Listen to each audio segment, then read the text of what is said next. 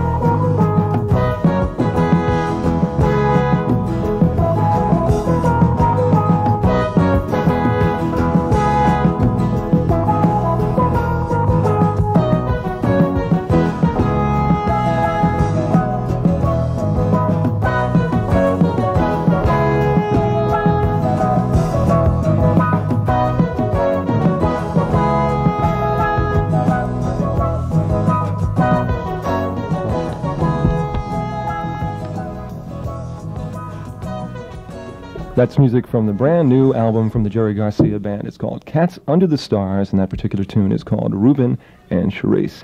And we have the very distinct pleasure of having members of the Jerry Garcia Band with us here on CMF this afternoon. In fact, we have Jerry Garcia, Donna Godchaux, and John Kahn in our studios, and you sure have picked a nice day to come to Rochester. We haven't had a day like this in a long, long time. All right. You should have seen what it was like here about a month and a half ago. Oh, we did. Now it's all starting to melt. We. You did, oh yeah. Uh, almost dead. The Grateful Dead Yeah. was here right in the midst of it. That's true. here? We were That's here true. just before that in December. That wasn't too long ago. That was No. a big sellout. I remember I was uh, driving around about 3 in the morning after that show, and there were pe- still people all over the streets in downtown Rochester. You wouldn't believe it. And you're back. Yeah. Rochester keeps calling us That's back. us. Come back, Jerry Yeah, Garcia Band. Come back, come back. Well, people seem to like you're you. Alive. but That's the important thing. Tell us who's not with us this afternoon that's in the band. Uh, Keith uh, Godchaux, who plays piano, and uh, Buzz Buchanan, who plays drums, and Maria Muldaur, who's uh, singing with us as well. How did Maria get involved in the tour? Uh, well, uh, luck, I suppose. Actually, There what, has to be what more to it happened than was that, that, Jerry. uh, uh, back when I did an album about uh, three or four years ago, and John produced it. and uh, he had Maria come in to do some uh, vocal work on the record, and uh, since then we've worked sort of informally, and uh, John and Maria live together. If that's okay, if you don't mind my mentioning that. That's quite all right. We're a liberal radio station. And okay. uh, so in this album, Quite she true. participated a lot too in the vocals and stuff. And, and uh, she's also accompanied us on a few other tours. And it's neat to have her singing with us. And Donna and Maria sing really well together, and they like working together. Uh huh. So just chemically, it works out really nicely. We don't fight or anything. And I love having those pretty girls on stage. Uh-huh. You know. yes. We're really excited this afternoon. For one thing, we have a, a super advanced pressing of your of your latest album. I don't even think you've heard it yet, right?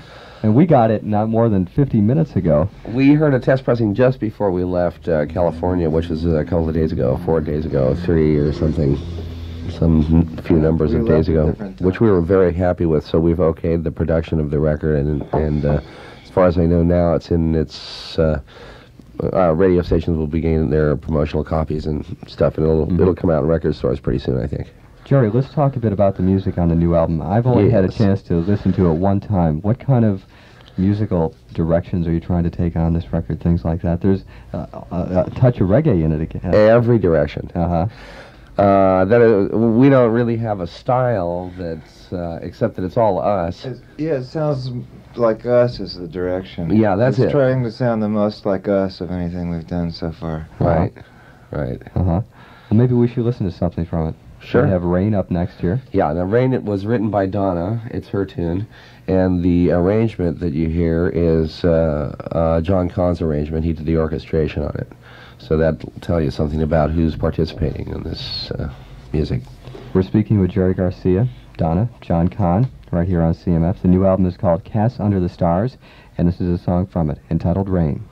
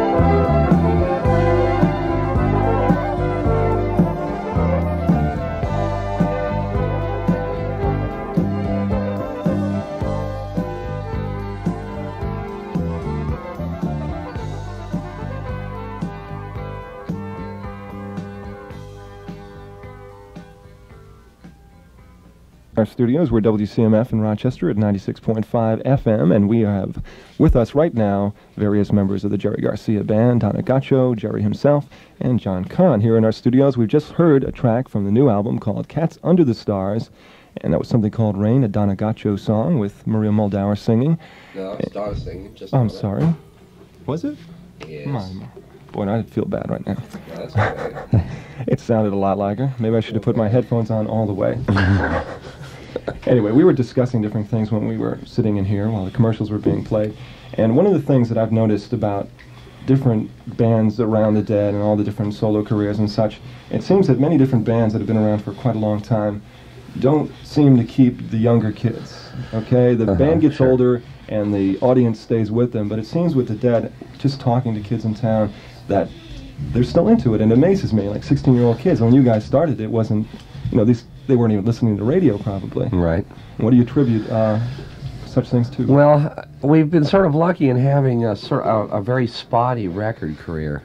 Uh, insofar as we've never had any real big hits or uh, you know Singles, quadruple anyway. platinum records or any of that stuff. Yeah, we've got a handful of gold records here and there, but uh, we've been our audience. I think is not there to hear us perform our albums. They're there to hear us uh, do whatever we do, and it, it, it- typically at a show, there are people who request, you know, a few like old favorites or whatever, uh, and stuff like that. But uh, we never get, you know, gales of booing if we don't do do that stuff. We've always felt very free to do whatever we want to do, because it seems as though the audience is encouraging us in that direction. You know, so it, it works out well for us because the audience is dynamic, and they're uh, they're they they're accepting of anything that we want to try.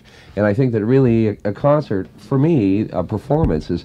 Uh, I like to go to a performance and be moved. And I don't think that you can be moved successfully a lot of times by a certain formula devices that you can employ. For example, if you have a slam bang show that's really tightly organized and and uh, things happen just the way they're supposed to be, be tremendously exciting the first time, say, you know, um, uh, lasers go off and explosions on stage and all kinds of special Well, for some happens. groups that are into theatrics, Sure, perhaps and, that works and that's well. neat. You know, that's neat. But the second time you see the show, and or the third time you see the show, and you realize that you're seeing the same thing in the same time, in the same pace, and so forth, and the same approach. Generally, I think that that ultimately it gets to be dull, and that an, that an audience doesn't really want to spend money to go back to that And much less follow that band all over the country. Yeah. So right. when you take the stage as a group, do you have any songs in mind, or do you go, "Hey, let's do"? Uh, Right, that's it. We don't know what we're going to do.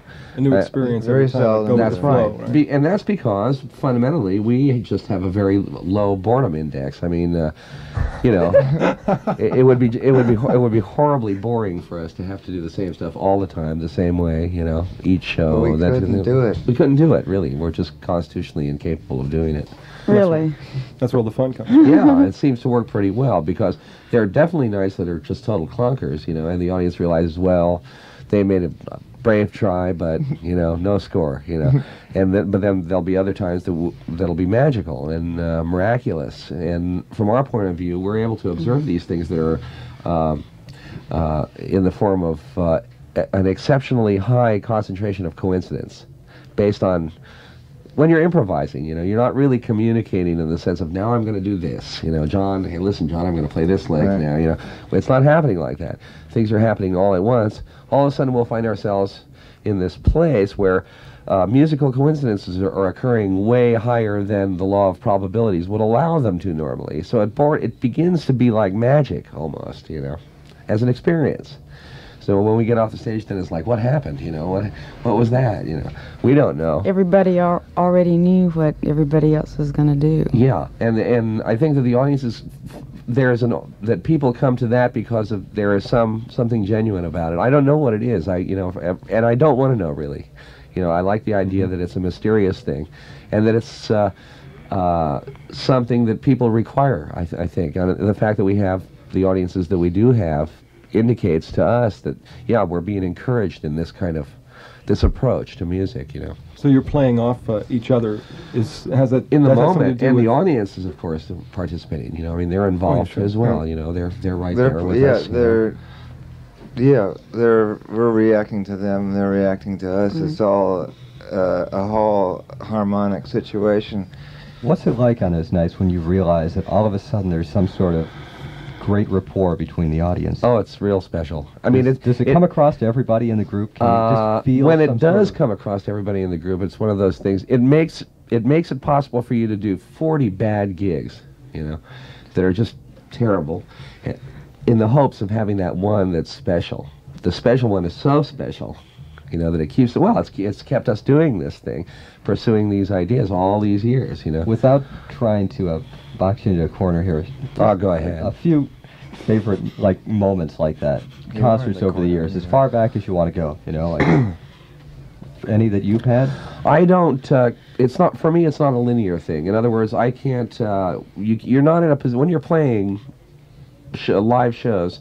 You're not in a position to compare yourself to your former self. In other words, say we had a great show last year, you know, uh, and then the last show that we did was just a clunker. Well, the feeling is everything that we've ever done added up to this clunker, and there's really just no point in even living. You know, it's just all But- you know, it's yeah, all added up at, to a at bummer. the same you know. time, we don't know as well as a, a lot of times we don't really know very much about whether we were good or that's not. That's true. Some, and that's yeah. the God's truth. I I've heard, played gigs where I was mad.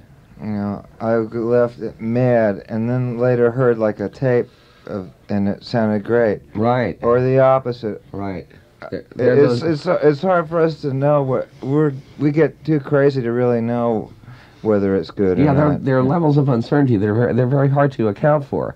That thing that John just described is a very real thing. I mean, there are times when you just feel like, uh, God, I, I never, I couldn't quite get together all night. You know, I felt like my guitar was a little out of tune, it didn't sound right, and everything was funny. I thought the grooves were weird and things were funny. And then you hear a tape and it just sounds wonderful.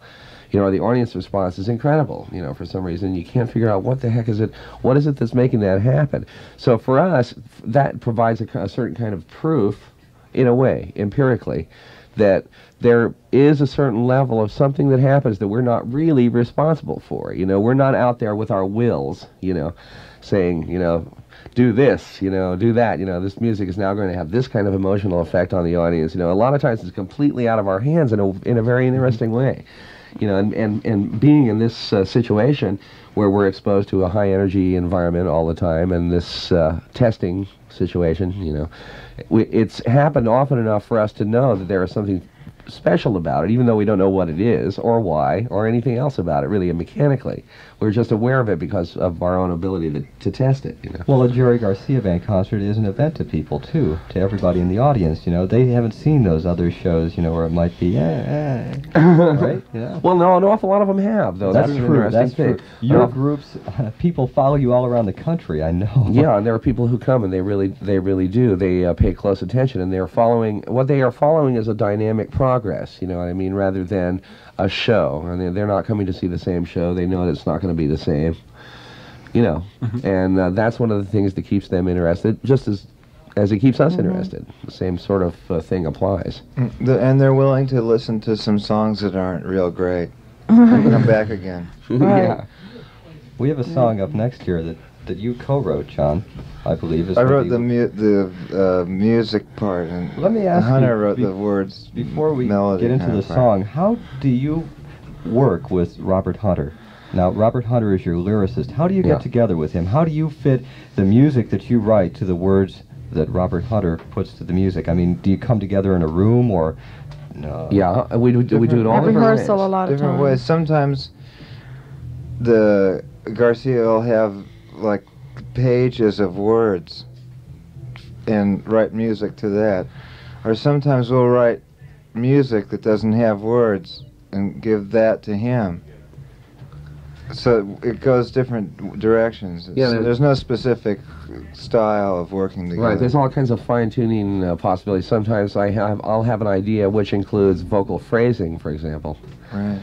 and I'll uh, sing the phrasing to Hunter, and he'll, uh, he'll, you know, then work, develop a whole series of ideas based on the phrasing, and I'll go through and edit, you know, and it just we work very freely together, You in also- all different ways. For instance, edit uh, eight typewritten pages of Terrapin Station words into what eventually got on Terrapin Station. Right. Do you all still work together and live together as a close knit family, or is it sort of fragmented a bit? Well, there's We too many of us to really anymore. live together. That's Yeah. not really possible. As econo- also economically, I mean, California they don't really let you do that anymore. Uh-huh. You know, they have laws about how many people you can have that aren't related living under the same roof. How many can you? They do? Yeah, they do. Oh. They did that back when people were lots of people were living in one house. Oh, they actually Hello? dealt with that. I never knew that. Yeah, they That's actually nothing. did that. I thought everybody took it upon themselves that it was too crazy or something. And basically, we all have our own scenes and families and so forth and uh, whatever, you know. So it's uh, we're all we all are uh, live near each other and we hang out an awful lot together. And I would say that if you had to divide our hours up, that that we in terms of life hours, that we probably live together Yeah. in terms of spending more hours together than we do live anywhere Mhm. else. You know. For instance, we can be playing at um, a place called Keystone in Berkeley, and having been working on a record or whatnot for days and days and days, and I walk in and Jerry and I just immediately crack up, you know, and he says, "Long time no see." yeah, right. It gets to be pretty silly at times. At the end of the album, I remember we saw the sun come up four times through that little slit Right. in the ceiling. right. Without ever leaving the room, you know, the room that we were working in. Mm-hmm. So we and you know, I mean, we we've chosen to work that way. Just you know, I don't know why. Just uh, mainly because we, We can't didn't really we don't choose to. We very just well. did. It Yeah, wasn't. I Do you have one of uh, to do do that. you have one of these uh, studio setups of your own now, like where you can go and just lock yourself in a room and, and work for days straight if you want Right. to? If this Betcha. record is the first record from Months. that studio, you know, months in this case. You're right. this record is the first thing from that uh, studio, which is uh, uh, was partly funded, partly uh, built from uh, the uh, uh, budget that I was allowed to make this record, and uh, it's quite well equipped. It has uh, um, a really nice Neve console from uh, England and a Studer 16-track uh, Swiss machine, and and really, and it's an excellent sounding room. It's a very large room, and it really sounds very pretty. You know, it has very pretty vocal sound, very pretty instrumental sound, and this is the first record uh, made in there. So, and we're really delighted with the results. We're real happy. To get back to the song here, this is a song that was co-written by John Kahn. John, why don't you give it a, a brief introduction and then we'll play the song. Well, it's like a reggae song, sort of. It's influenced by reggae music, which I happen to love a whole lot. That that t- reggae music was uh, the most significant thing that happened in terms of bass players for me in uh, ten years, maybe. Do you think we've really seen reggae music bloom yet as far as how it's used in the rock context? Or do you think You might even hear it now. No. Here's a good example of, Okay. I don't of, know, but uh, I- the way don't- we do it. At least. I don't know that there's going to be a lot. We might have heard the best reggae records so already. Yeah, it's. I don't. I don't know that there's going to continue a lot in Jamaica. yeah, tell I you don't. the truth. Yeah, I don't think there's going to be some kind of reggae explosion. I think that it's really like it's a local kind of music from a very small part of the world, and it has a very, it has, I really think, a limited appeal. But from a musician standpoint, it has some really interesting things that that like American music could use right now. you know. Like what? uh, a, a rhythmic feeling, uh, a whole approach to rhythm that has to do with like standing on the rhythm in a certain way. And, the, and my, my the easiest way I can relate to it is to figure about 93 degrees with about 100% humidity, you know, in the middle of summer, just going real slow, you know, and it has this a steadiness to it that comes from that that kind of island life, like the surf, you know and uh, all those things. And it, and uh, and and the thing about the bass playing, like John was saying, the the sense of the rhythmic. The, the holes, the space is having rhythmic value in the same sense that in a positive negative image sense, you know what I mean? So the holes have the same kind of rhythmic value that the that the notes do, which gives it a tremendous power and uh, a really kind of lo- a, lo- real lovely rhythmic thing, you know. And, and, you know, and, and as a bass player, uh, a long time ago, a, a lot of, especially like rhythm and blues records, like I'm thinking of like old Motown records and stuff like that. The bass line was really one of the more important elements of the song. It was like a counterpoint to the vocal. And those were the most basic elements of that music, and, and the drums too. Uh, music has gotten away from that now. music gotten away from music that's designed to also listen to and also dance at the same time too?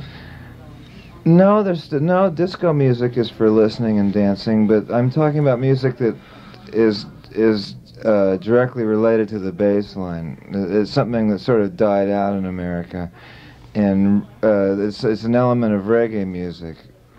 Needless to say, as a bass player, it appeals a lot to me. All right. Let's listen to it. The new album, Cats Under the Stars, the Jerry Garcia Band. This is Love in the Afternoon.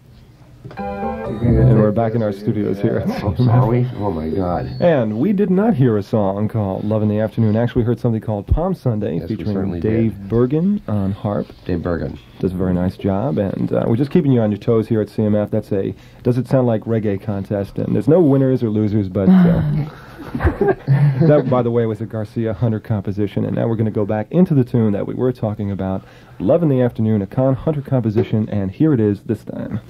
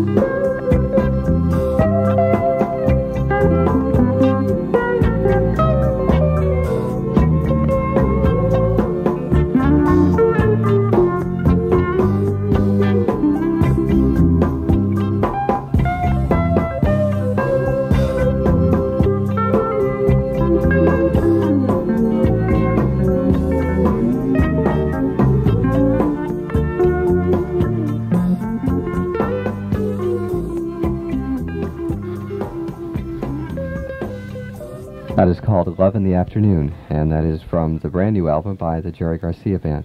Jerry, what do you think about stuff like uh, Elvis Costello's Watching the Detectives merging reggae and rock? Uh, I like it. Yeah? Yeah, I like it. I like you heard Elvis that? Costello. Yeah, Oh, yeah. I haven't heard that. Some of that stuff I really like a lot. Uh, the so-called new wave music. Yeah, what do you like? Uh, what I like, well, I, li- I really like that that uh, band Cheap Trick.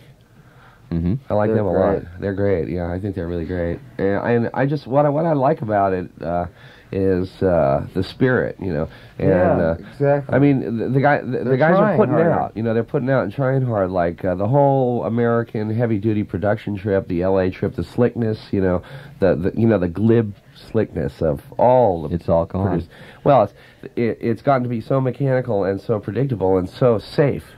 You know, from a musical Well, standpoint. let's put let's put some strings here. Uh, and, yeah, you know, it's very, it's a formula trip. It's almost a formula trip. So this this other music is real raw and real nasty, and the and the players are not very good. But the spirit there, the you know, the spirit there is something I think that uh, uh, young people can always dig. That you know, it it, it you know, it's Well, uh, it It seems bad. like when Can you- can you- Well, punch, that, I dig it. You know, I mean, I I'm not deep young anymore, really. I remember listening to the FM radio, which I don't get a chance to do much because my car radio's broken, and uh, I was in somebody else's car. And most of the stuff I hear, I I can't get real deep into anymore. It seems like it's pop music has taken kind of a fall, as far as I'm concerned. yeah, me too. And I heard this punk rock song. I don't know who it was by, and it, it got me off more than anything I heard on the radio all that whole day. I was listening to the radio. It was just like blue, like some kind of blues and surfing music uh, thing with the gu- guitar blues licks that weren't right. You know, like not quite the right chords and stuff. And I, was, I loved it. It was like they were trying to make music. Well, new wave Yeah, music is working really well out on the West Coast. It's very popular, isn't it? No, not really. I mean, uh, here's the the problem. I, I'll tell you. The, I'll tell you the thing. The reason why is because uh, the promoters ha- have the unfortunate experience of promoting the shows and uh, losing money like crazy, and then the, and the audiences are usually such a drag. Uh, unfortunately, and that's mostly because of the hype, the the press part of it. You know, uh, that their behavior makes it so it's like a one-time only shot. You know what I mean? Uh, in other words, you know, the uh, for example, like Bill Graham would put on the Sex Pistols, uh, although they're disbanded now, and would put on one show. But after that one show, he just he just said, "Never again. I'm just not going to do it again. I'm not going to expose uh, my own people, the people that work for him." I to- saw Bill Graham, I think it was on the Tomorrow Show, and he was with a member of the Jam, and he was saying, you know, I really respect your music, but as a promoter, I don't know if this is going to work too well. Yes, there- there are some- It was some problems up. to it, It yeah. was set up by the press before anybody ever even heard it. Yeah, I think that I read what's about that about stuff it. before I ever heard Yeah, it. that was what's what was unfortunate. People go there expecting to get crazed. and there's that. Uh, you know, Well, maybe that's one of the problems with pop music Well, now. The image is more Uh, important. the pop, the, the pop music journalism. You know, pop music journalism. Like, eh, like everybody who is writing for the the various their respective magazines. You know, the uh, Crawdaddy and Creem and Rolling Stone and so forth. They're all anxious to to be the first to recognize the new, you know, phenomena. You know, Mhm. now that and I and I can dig that. You know, it's like uh, a news a, a journalist wanting a scoop. You know. So this uh, small element of activity in the English working class, you know, uh, what became magnified way beyond its own real power, uh, you know, to deliver. It seems like perhaps it started in England. It was really raw and rough, and now Yeah. a lot of the a lot of the more talented people, say in this country and in Britain, have taken sort of the values within the new wave music and redefined it. That's and right. It's coming out into stuff like Elvis Costello, Sure. which is, sounds like sort of good R and B. Yeah, But if you listen to the like- uh, words, I it's think what I think, a lot I think they're going to be involved in a matter of progression as well. In other words, a player is going to those players, the guitar player, the singer, and so forth. They're going to listen to their record, you know, and say that well, the next record, I think I would, I'd like to play a little bit better on the next record. You know, You know hopefully, I mean? really, yeah. it's uh, one of those things that's hard to avoid. I mean, when you're a performer, you really your instincts, uh, regardless of what your act is, your instincts are to try to be uh, a little bit better, unless there's something really funny about you. You know, And, uh, and I think that the music is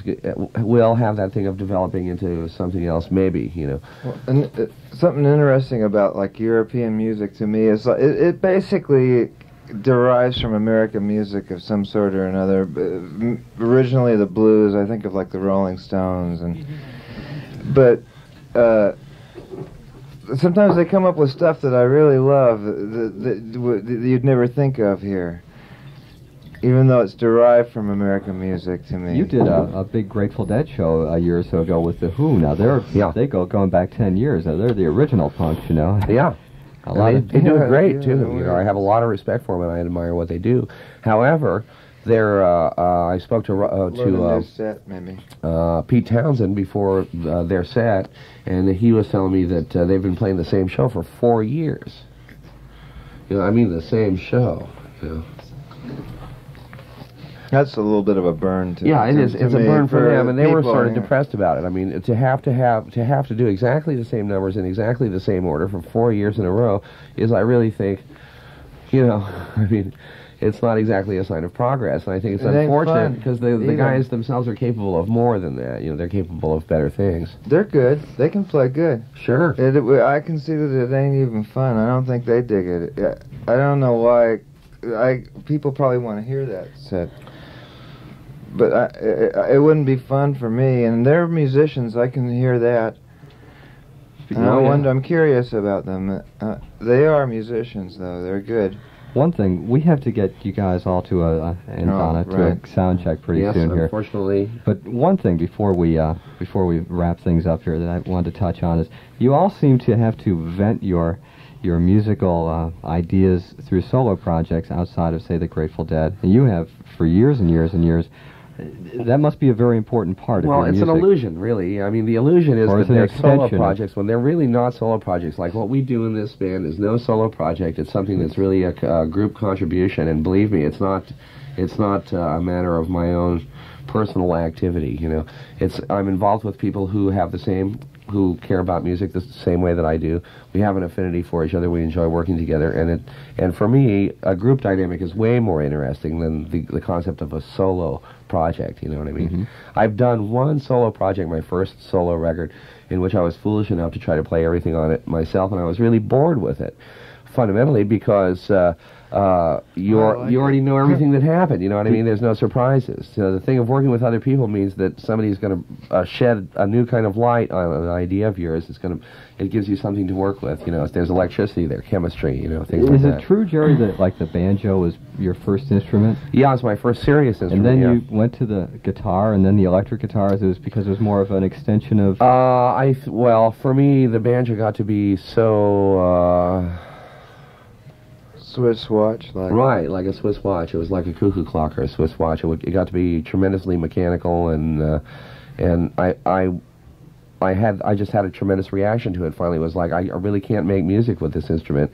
I want something that that moves the way a voice moves. You know, I want to be able to play more expressively. I want to be able to have a whole other kind of you know, or uh, you know, it's just. I find I just burned myself out on the banjo. Really, is what it boils down to. It's kind of a one-toned. Yeah, it's got Instrument, it's got one sort of idea going for it. You ever think of going back and doing another album, say like the old In the Way record? Uh, for me, it was the music. You know, John and I John both was on were that one that too, band, right? right? And for me, the, uh, the neat thing, uh, in my whole in, uh, my whole interest in the banjo even was really not so much the banjo itself, but bluegrass music as a as a style of music. Mhm. And it's the music that I cared about rather than the banjo by itself. So it's very hard for me to say sit at home and practice the banjo. If the music were there, in other words, if I were going out and playing with friends, you know, a couple of nights a week.